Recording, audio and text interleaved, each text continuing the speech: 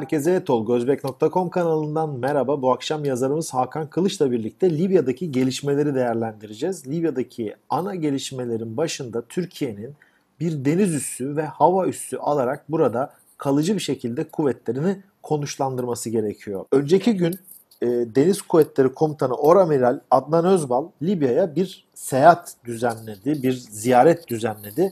E, bu ziyareti gemiyle geldi. Seahawk helikopteriyle Libya'da karaya çıktı ve e, mevkidaşı Libya'nın Ulusal Mutabakat Hükümeti'nin Deniz Kuvvetleri Komutanıyla görüştü ve orada e, Misrata Deniz Üssü'nün Türkiye tarafından da konuşma, e, kullanılması amacıyla bazı görüşmeler gerçekleştirildi ve tabii ki uzun süredir konuşulan Vatiye Hava Üssü'nün de Türk Hava Kuvvetleri tarafından kullanılması gündemde.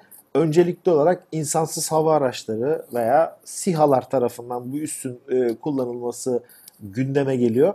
E, öncelikle herhalde Türkiye'nin burada hem deniz hem hava üssüne sahip olması e, oyunu değiştirmek açısından çok önemli bir stratejik e, öneme haiz olması diye düşünüyorum. Sen ne düşünüyorsun bu konuda? E, ben şöyle düşünüyorum. Şimdi deniz kuvvetleri orada e, mesela Gabya sınıfı fırkateynler e, rekorlar bile kırdılar. Yani en uzun e, seyirde kalma rekoru. Yani deniz kuvvetleri aslında çok büyük sıkıntı yaşamıyor. Çünkü buradan ikmal gitmesi gerekiyor. Yet, ikmal gidebiliyor. Hani deniz kuvvetlerinde nedir? E, yakıt ikmalidir, e, mühimmat ikmalidir ve diğer ikmallerdir. Esas sıkıntı olan yani oraya bizim hava desteği veremememiz. Yani buradan daha önce de anlattık ya yani 1986'daki e, Amerika'nın Libya saldırısında işte İngiltere'den kalkıp gelip havada 5 kere ikmal yapıp bir ta, e, taarruz yapması söz konusu. Yani bunu adamlar bir kere başardı. Onda bile bir uçak kaybettiler. Yani bu kolay bir şey değil. Biz yani böyle hani zırt pırt bir şey oldu. Hemen buradan F-16'lar kalkacak. Zaten 3 saat gidiş, 3 saat gidiş. 6 saat yani oraya böyle çok efektif böyle Kuzey Irak gibi e, yani Irak'ın kuzeyi gibi veya Suriye'nin kuzeyi gibi çok e, rahatlıkla müdahale edebiliriz, edemeyiz. Bunu sadece biz değil, e, Rusya, Çin, Amerika gibi, İngiltere gibi büyük ülkeler de yapamaz. E, dolayısıyla esas sıkıntı dediğin gibi orada hava üssü ve hava konuşlanması önemliydi. bu dediğin gelişme de tabii bu açıdan çok önemli. Şimdi hava üssü, Vatiye hava üssü yaklaşık Tunus sınırına yakın bir bölgede ama önemli olan orada Libya topraklarında olmak. E, bu hava üstüne geçtiğimiz günlerde mayın veya tuzaklanmış bombaların temizlenmesi gerçekleştirildi. Bunlar tabi adım adım. Biz e, diğer adımlara baktığımız zaman uçakların veya SİHA'ların gelmesinden önce sanıyorum hava üstünün iyi bir hava savunmaya ihtiyacı olması lazım. Sence nasıl bir sistem Türkiye kurabilir oraya? Şimdi e, Savunma Sanayi e, Başkanı Sayın İsmail Demir'in dediği gibi e, işte şeyler Hisar Oğlar İdlib'de görev yaptı. Belki oraya da kaydırılabilir ama e, şu anda zayıf ihtimal görüyorum. Onu e, tahmin etmiyorum ama orada ne var? Halk var. E, bence hava savunma olarak e, çok fazla bir yığınak yapılmayacak oraya. Yani mesela S-400 zaten zor ihtimal de.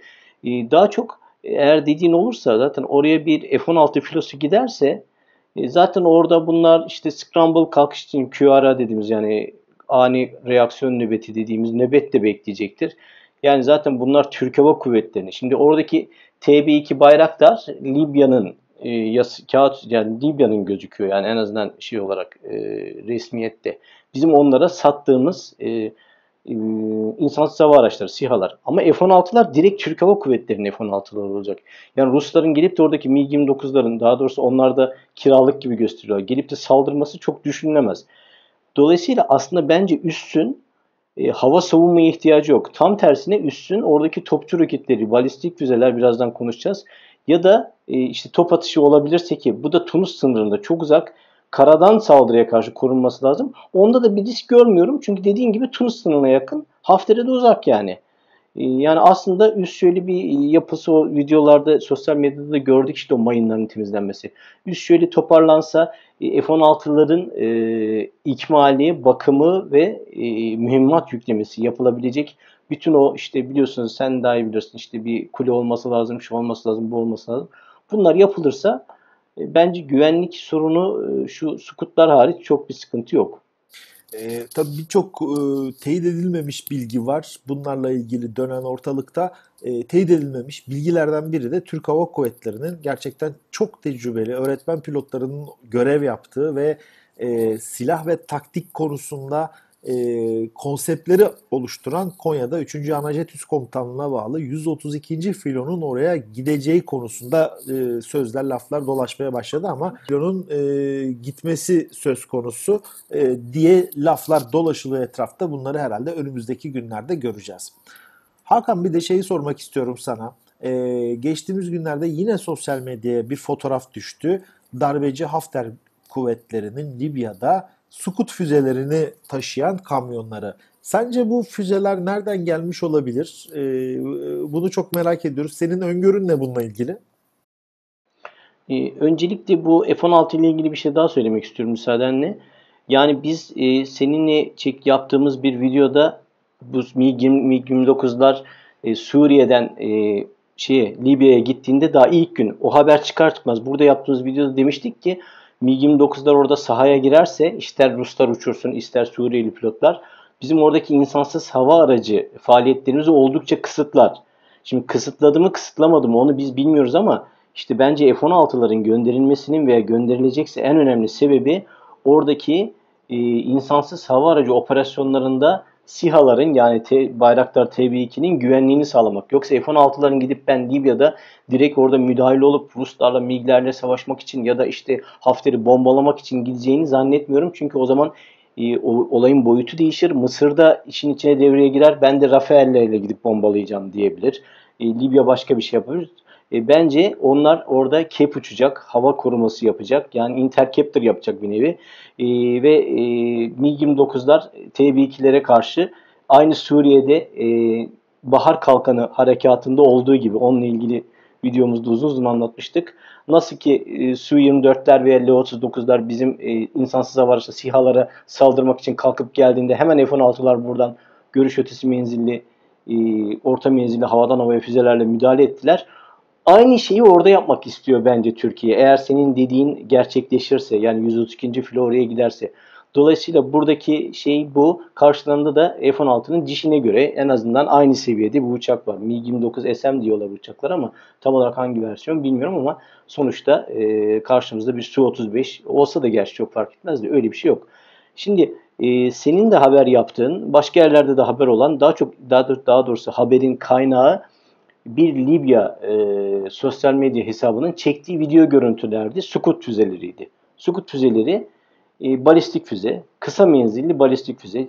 Füzelerin türevine göre çok e, çeşitli menzillerde ama bu gördüklerimiz Sukut B'ydi. Yani aslen Rus yapımı R-17 e, Sukut B balistik füzesi 300 km menzilli balistik füzeydi. Bazı hesaplar bunları e, hava savunma füzesi SA-7 olarak, olarak yazdı ama orada video görüntüde çok net görülüyordu. Harp başlıkları çıkarılmış, kamyonların üzerine konmuş füzelerdi. Şimdi senin sorun nereden geldiği konusunda ondan önce yine müsaade edersen ben önce bir e, çok kısa Skut anlatayım. Şimdi biz Skut füzelerini İran-Irak Savaşı'ndan da sonra Körfez Savaşı'nda çok meşhur. Yani kamuoyu orada biliyor. Orada çok e, gördük. İşte Bağdat'ın Saddam'ın her şeye rağmen 80 küsür tane e, İsrail, Birleşik Arap Emirlikleri, Suriye gibi, Su Suudi Arabistan gibi ülkeleri attığı işte koalisyonu dağıtmak için e, karşılığında Patriot'lerle e, savaştığı ya Patriot'lerin onunla vurmaya çalıştığı bir balistik füze. Evet, Sukut nokta hedefi vurabilen, hassas vurabilen bir füze değil. Cep mesafesi çok büyük. 500 ile 900 metre arasında. Yani Sukut'la tutup da bizim orada e, senin söylediğin o üssü biz e, uçak konuşlandırırsak tam isabet bir F-16'yı vurması, tam isabet bir hangarı vurması çok zor. Ama o füzeler gelmeye kalktığında o üstün artık güvenliğinden de söz edilemez. Bu da ayrı bir şey. Çünkü adam 10 tane birden atsa bir tanesi denk gelebilir. Dolayısıyla oraya da bir aslında bir antibalistik füze savunma sistemi lazım. Yani işte e, Aster'de, Patriot neyse. Fakat burada şöyle bir şansımız var. Benim yorumum şu. E, bir kere bunlar sıvı yakıtlı. Ellerindekiler Scoot B'ler 300 km menzilli. Fakat 985 kilo neredeyse 1 tonluk harp başlığı var bunlarda. Benim düşüncem e, sıvı yakıtlı olduğu için yani fırlatmadan önce bir 20, 20 dakika 30 dakika sıvı yakıt yüklemeleri lazım ve bu yakıtın da taze yani ta Kaddafi zamanından kalma bir yakıt olmaması lazım. Yakıt bulabilecekleri konusunda şüpheliyim. Ama Şimdi sen dedin ki nereden almış olabilirler? Bizim ilk başta şimdi o gün ben birkaç yerde demeç verdim. E, Tolga Özbek.com sende de çıktı o. Biz direkt e, Kaddafi döneminde kalmış e, sukutlar olarak düşündük. Fakat sonradan ben şöyle bir düşündüm dedim ki yani e, Irak Savaşı'nda, Körfez Savaşı'nda Amerika bütün sukutları aldı bir kısmını götürdü. Hepsini vurdu, imha etti. Hatta Irak'a anlaşma gereği asla bir daha e, balistik füze yapmayacağı da o anlaşmada var. Hiçbirini temizlemedi. Libya'ya daha önce İngiltere, Fransa ve Amerika hava saldırısı yaptı. O kadar operasyon yaptı. Orada bırakmış olma ihtimalleri çok zayıf. Sonradan birkaç yere sordum. Biraz da bilen kişilere sordum. Çok büyük ihtimalle dediler. Yani şimdi burada normalde olan şüpheli kimdir? Eğer bir Orta Doğu ülkesi ise bir sukusa olan şüpheli İran'dır. Çünkü bütün asimetrik unsurlara kendine bağlı devlet dışı aktörleri birçok kişiye sukutları Yemen'de Husileri falan verir. Ama İran Hafter'le arası değil. Yani İran bir Hafter destekçisi değil. Dolayısıyla geriye şüpheliler Mısır, e, Suriye, e, Suriye'yi kullanarak Suriye üzerinden Rusya, bir de İran'a rağmen belki Husiler olabilir. Yani yine Yemen olabilir. Yani Husiler demeyeyim de Yemen olabilir. Buralardan gelmiş olma ihtimali var diyorlar. En büyük şüpheli de burada dediğim gibi Mısır ve Suriye. Şimdi bunlar kamyonların üzerine koymuşlardı. Harp başlıkları da belli ki o aradaki kamyonlardaki o kas, mühimmat kasalarındaydı muhtemelen. Kaç tane var ellerinde? Orada bir 8-10-15 tane gözüktü. Onu bilmiyoruz ama e, bizim için tehdit de olabilir. Hani bu çok oyun, game changer falan oyunu çok değiştiren, çok şey yapan bir şey değil belki ama çok da uzatmak istemiyorum. Yani e, onların icabına bakmak lazım. Ya F-16'lara bakılır mı? Çok rahat. Çünkü bu araç bir de onların ha fırlatıcı aracı da yoktu ortalıkta. Yani tel denen işte onları hem taşıyan hem atan o çok meşhur bir sukut aracı vardır. Rus yapımı herkes bilir onu. Resimlerde zaten bulurlar. E, o araçtan da yoktu. Yani o araçlarda rampayı gördüğü zaman F-16'lar affetmez ama e, bilmiyorum tabii. Belki de sadece ellerinde füzelerin kendileri var. Yakıtları olmayabilir. Bilemiyorum. Şimdi e, bu konuyla ilgili çok fazla soru alıyoruz. Bir insanlar merak ediyorlar, soruyorlar ama ben hep şöyle değerlendiriyorum bunu. Sonuçta Rusların oraya MiG-29'ları, Su-24'leri göndermeleri veya Hafter'in e, böyle herkesin gözünün önünde Sukutları tören yapar gibi geçirmeleri aslında masada bir pazarlık söz konusu. Artık hani Hafter diyor ki Sukut var benim elimde. O Türkiye o üssü açarsa ben vururum iddiasını aslında koyuyor ortaya. Türkiye'de diyor ki senin restini gördüm ben Deniz Kuvvetleri Komutanı yolladım oraya. Deniz üssü için gerekli çalışmayı bizzat yapıyorum. Yarın öbür günde belki Hava Kuvvetleri Komutanı gidecek oraya ve Vatiye hava üssünü F-16'larla konuşlandıracağız. Hani biraz da böyle bir karşılıklı bir pazarlık varmış gibi gözüküyor. Son günlerde de savaş olarak yani kim ne ilerledi, ne yaptı, ne etti gibi de Libya'dan da çok fazla bir hareket gelmiyor. Bakalım böyle bir taraflar bir taraf e, Rusya'yı azıcık arkasına almış. Öbür taraf Türkiye ile beraber böyle bir pazarlık var gibi ve geliyor. Ne düşünüyorsun bununla ilgili? Bir de Fransa çok karıştırıyor. İşte bizim orada uluslararası anlaşmayı ihlal ettiğimizi şöyle yaptınız, Türkiye şunu yapıyor, bunu yapıyor. Sosyal medya hesaplarına bakıyoruz. Fransa'nın verdiği füzeler ve mühimmatlar da onların elinde fotoğrafları çıkıyor. E şimdi orada e, bir de şu ilginç bakın bizim bilmiyorum sen daha iyi takip edersin medyayı. E, bizim Türk yetkililer yani Türkiye'den herhangi bir açıklama da yapılmadı o Sukut'la alakalı. Oradaki zaten o geçen kamyonları sanki adamın biri yani onların taraftarından biri yani bizim böyle bir meraklı bir arkadaşın işte geçen e, tankı füzeyi çekmesi gibi aa çok iyi hay maşallah falan böyle şeyleriyle sözleriyle çekip attı. Belki de adamlar karayolundan naklediyorlardı öyle göstermek de çok istemediler. Bir tane safın attığı bir şeyle oldu yani olay. Yani birazcık belki de bu bir İKK'nın tam orada e, uygulanamaması. Yani sızdı belki de. Ben ee, çok e, şey e, böyle çok meraklının olduğunu düşünmüyorum. Gerçekten bunlar e, planlı adımlar olduğunu düşünüyorum. Hani, evet. ha, ne oluyor? Senin gibi insanlar bu görüntülere bakıp e, bunun taşıyıcı kamyonları nerede deyip çok güzel soru sormuş olabiliyorlar. Veya burada pek konuşmadık ama malum Birleşik Arap Emirlikleri'nin de bölgeyle ilgili çok e, hedefleri var. E, belki parayı verdi Birleşik Arap Emirlikleri. Ha, Başka tabii bir finanse olabilir. finanse edip nasıl destek bulamaz onu ama finanse edebilir. Yani evet başkaları aracılığıyla. Yani en azından Mısır var ortada yani. hani Pansirleri nasıl Birleşik Arap Emirlikleri satın alıp oraya yolladı. Ee, sen de çok güzel kamyonlarından çözdün olayı. Hani Rus yapısı olanlar Birleşik Arap Emirlikleri'nin yolladıkları bunların çünkü kamyonları farklı. Bunun gibi bir hareket edilmiş de olabilir diye düşünüyorum. Bir de şey var. E, bu arada onu da söyleyelim. Ruslar Panzer'in yeni gelişmiş versiyonu yani modernize ettik, geliştirdik, bir şeyler yaptık deyip 6-7 tane de onlardan gönderdiler. Hatta bu bayağı bir konuşuldu ya acaba bu yeni Panzer'ler TB2'ler karşısında ne yapacak? E, işte hani e, bunun capsleri, esprileri de dolaşıyor. Ya bir tane de ondan ondan da vurursak artık herhalde temelli üretimini durdururlar mı falan gibi. Bakalım işte yani o yeni Panzer'ler ne olacak? Çünkü daha küçük, daha efektif bir füze yapmışlar Panzer'in üstüne. E, haberlerde arkadaşların hepsi görmüştür zaten. E, tabii çok da özelliğini bilmiyoruz. Bakalım yani e, Panzer'de değişti. Ne olacak bilmiyoruz yani.